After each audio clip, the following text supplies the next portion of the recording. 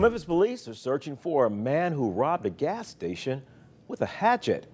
What you're looking at on your screen right now is the robbery that happened at South Memphis at the BP gas station on South Bellevue Boulevard. MPD says this is video from the gas station last Friday around 10 at night. here you see the man enter the store, sit down at one point, then pull out a black and orange hatchet when he approached the counter. No word on how much he stole there.